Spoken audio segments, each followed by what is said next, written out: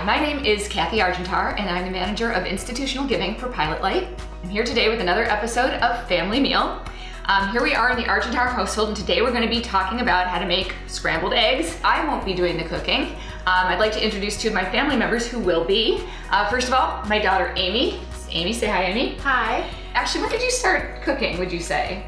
Probably around 12 or 13. Right, so she's actually been cooking a while and she's what I would call a creative cooker. So like a lot of times she'll like make things, mix them together. We're not really sure what's gonna happen and it's usually good. I'd also like to introduce at this time my husband Dave. This is Dave. Well, Um, and Dave has also started picking up some of the cooking. Um, Dave, would you like to share like what made you get interested in cooking? oh, I've always cooked a little bit, but in the last couple of years, I really sort of got into the whole process of it. I put some music on, follow the recipes, and I also like getting creative with them. Great, so everybody's doing it their own way. So at this point, what I'm gonna do is I'm gonna literally step down.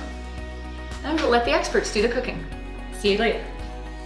So today we are going to be making four eggs, two for me and two for him. And what we have here are all the ingredients we're using today. Eggs, uh, we're gonna have some butter that we're gonna use to coat the pan. We've got some shredded cheese, which I like to add. You don't need to do that, uh, but I like to add that. And a few uh, spices here. We've got some pepper, we've got some salt.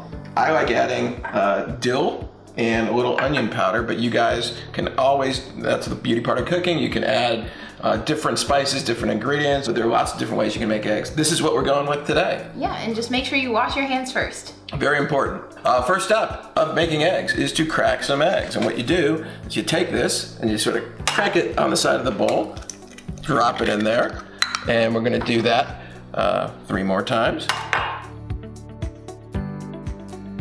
So there's four eggs, you put the shells aside. And what you're gonna do with these eggs to make scrambled eggs is you're gonna take a whisk if you have one, but if you don't have a whisk, you can use a fork.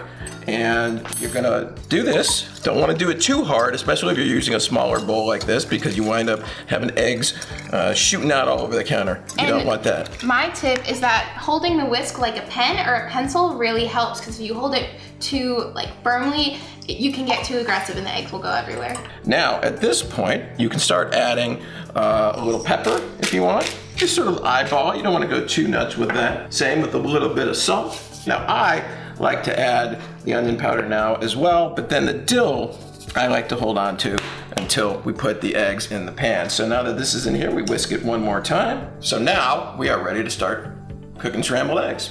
So first thing you do with the help of a grown-up is you turn on the stove and you're gonna want to put it on just around medium heat. You're gonna wanna put some butter or you can use cooking spray um, in the pan and let that sort of push it around a little bit, let it melt. And then you're gonna wanna pour your eggs in. Gotta get it all, but as much as you can. Okay, and then this is the point where I like to add dill and then take a spatula or a spoon and you mix things around. And pretty soon you'll see little things that look like scrambled eggs popping up um, in the pan. So during this time, you're gonna probably wanna add any other spices, not just the dill. You can add anything right now. Typically with cheese, you should add that a little bit later than the spices. That's right. Just because the cheese um, will need a little bit of time to melt, and it's just best to add that in Right, so once, halfway once, when the eggs are partially cooked. right, so that's about right about now. Thanks for that, Amy. And then you're gonna mix this, the cheese into the eggs. A really important thing, if you were wondering when are the eggs done, you have to make sure there is no liquid part. You don't want it to be watery because that means they're not properly cooked. These are looking like scrambled eggs. So once they get to that consistency, um, where the liquid is gone, and you can see that here, you can go ahead and turn off the burner or have a grown-up do that for you and sit there. And now we're gonna get ready to serve these.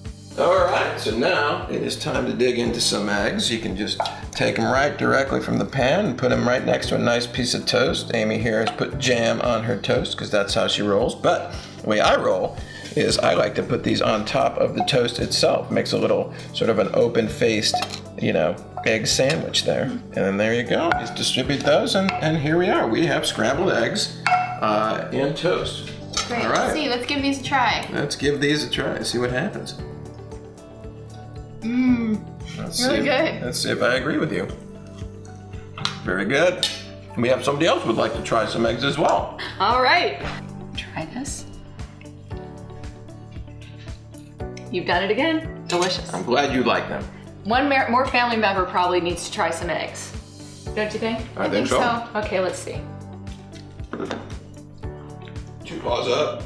Thanks so much for joining us for this family meal. Thanks to Amy and Dave for doing all the cooking and for Camille for doing the filming. We really appreciate you joining us, coming to our Food Education Center on our website at pilotlightchefs.org, or you can tag us on Instagram at pilotlightchefs, um, hashtag PL Family Meal. Hope to see you again here soon. Thanks so much. Bye. We want to know how you and your family are enjoying this recipe and making it together. So tag us. Find us on Twitter, Facebook, and Instagram at Pilot Light Chefs, hashtag PL Family Meal.